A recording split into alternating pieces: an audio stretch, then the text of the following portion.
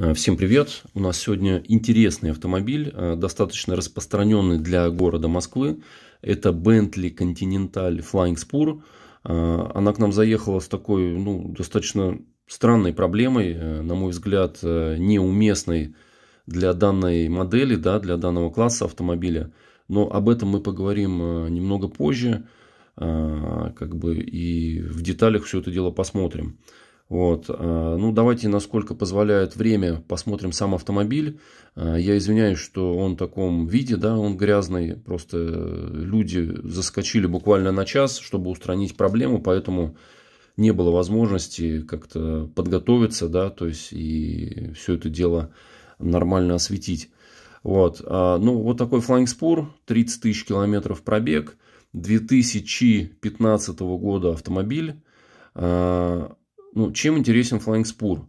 Э, в принципе, э, данная машина, она используется как персональная. И интересен момент э, такой, что если, например, покупать новый Flying Spur и тот же новый Rolls-Royce, да, так вот, стоимость Flying Spur где-то порядка на 10 миллионов рублей будет меньше, чем стоимость самого дешевого Rolls-Royce. А по потребительским качествам, ну, я бы не сказал, что Flying Spur намного хуже э, того же там младшего самого Rolls-Royce, да. То есть это огромный автомобиль, э, который реально, э, опять же, в отличие от Rolls-Royce, Flying Spur намного лучше едет. В данной ситуации мотор 12-цилиндровый. Ну, вроде бы как бы по заявкам производителя, что на этом автомобиле нет ограничителя скорости. И вроде бы как, что в районе 300 на ней можно разогнаться. Не знаю, сам лично не проверял, лично у самого такого автомобиля не было. А, но вроде как вот на Флангспуре эта тема в свое время была заявлена. Опять же, может быть, это просто некий маркетинговый ход. Да, но а, тем не менее, да, в отличие а, от младшей модели Rolls-Royce, от ГОСТа, эта машина все-таки, на мой взгляд, интереснее и динамичнее. Ну и, кстати, по надежности, я думаю, что Flying Spur, ну, скорее всего, все-таки будет надежнее, да.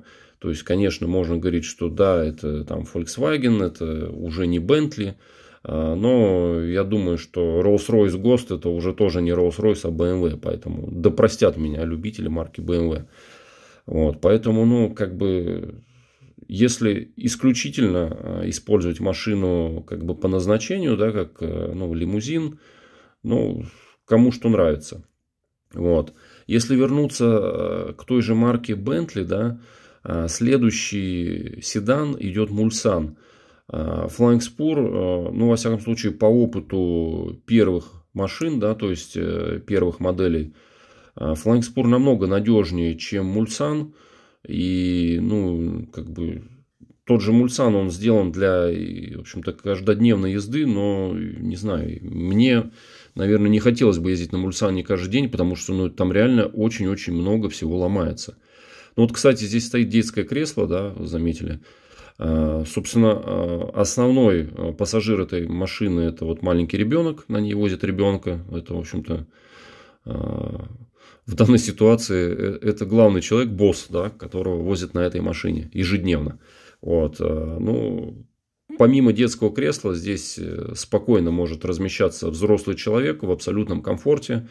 И вы видите сочетание кожи, да, дерева э, и остальных элементов салона ну, очень-очень грамотно сделано.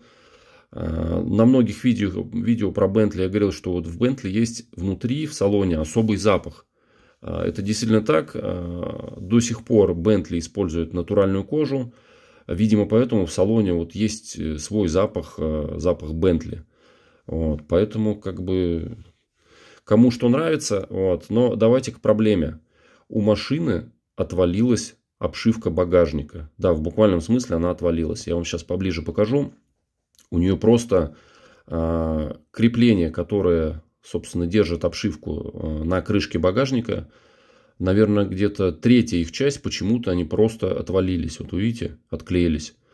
Вот. Но надо было решить вопрос быстро. Соответственно, мы просто их приклеили на место. Э, Все собрали, людям отдали автомобиль.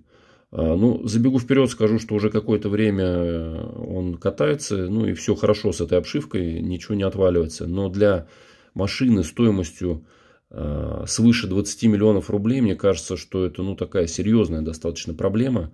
Вот, и ее не должно быть на такого класса автомобиля. Но это опять же мелочи жизни, хотя для кого-то может быть и не мелочи. Э, машина классная, э, она, несмотря на свои габариты, очень динамичная.